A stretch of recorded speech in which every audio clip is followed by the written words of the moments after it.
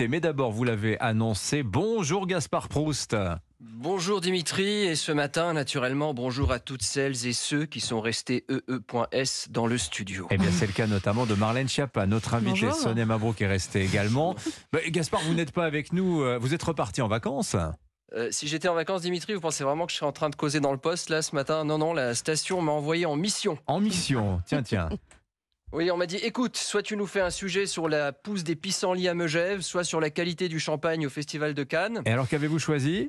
Eh ben, vous connaissez la boîte, hein. vous demandez un truc, on vous donne le contraire, donc forcément, je me suis retrouvé à Cannes. Enfin, j'étais à Cannes, j'ai j'ai dû me barrer pour des questions de sécurité. Des questions de sécurité. Bah, en fait, comme je m'ennuyais, je suis allé faire du vélo sur les trottoirs avec le masque de Thierry Frémaux. Mais pourquoi vous avez fait Et- ça? Mais vous savez, à Cannes, durant le festival, on voit quand même pas mal de producteurs parler à des actrices qui minaudent en décolleté. Et comme vous connaissez mon engagement pour la lutte contre le harcèlement de rue, dès que je suspecte un geste déplacé, je me mets en roue arrière, bam, je sépare les couples en train de se former.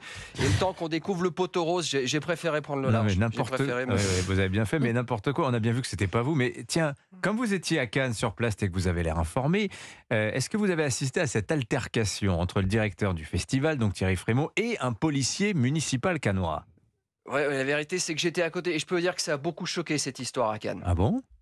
Ah bah à Cannes, une vidéo de 30 secondes où t'as un gars qui demande son nom à un flic, euh, on est déjà sur le film d'action un grand spectacle. hein, euh, Et puis 2 millions de vues en deux jours, euh, c'est quand même plus que les entrées cumulées de tous les films en compétition une fois qu'ils seront sortis en salle. Donc forcément... J'ai l'impression que vous avez quand même beaucoup de préjugés, Gaspard, non? Oui, beaucoup, beaucoup. Les préjugés, c'est quand même très pratique. hein, Ça permet quand même d'éviter de passer 3 heures sur des sujets dont je m'en tape. Est-ce que vous connaissez Marlène Schiappa, Gaspard? Marlène, oh oui, bien sûr, c'est une vieille copine. On a milité aux jeunesses socialistes ensemble. Non, je déconne.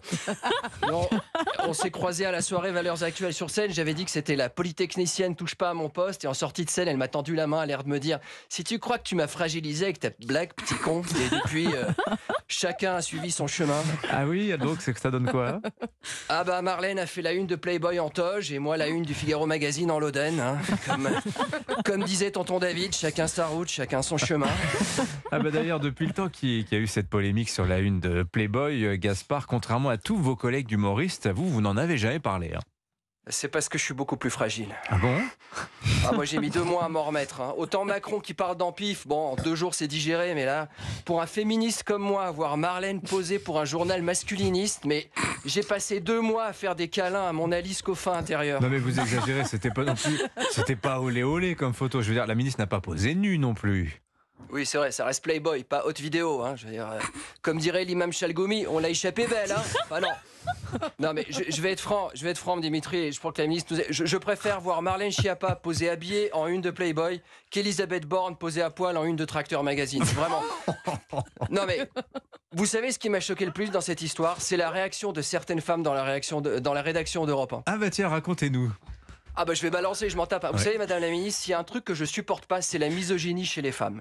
Parce que chez les hommes, à la limite, qu'est-ce qu'un homme mi- misogyne? C'est quoi? C'est d'abord quelqu'un qui a peur des femmes et qui se prive d'une richesse que peut lui apporter l'altérité de l'échange avec le beau sexe qui donne la vie, la joie et plus rarement la pension alimentaire. Non, vous voyez, moi qui arrive à mes 45 balais en étant toujours puceau, bon, demain, on m'annoncerait qu'à côté de mon bar PMU préféré ouvrirait une agence de mannequins. Je serais choqué.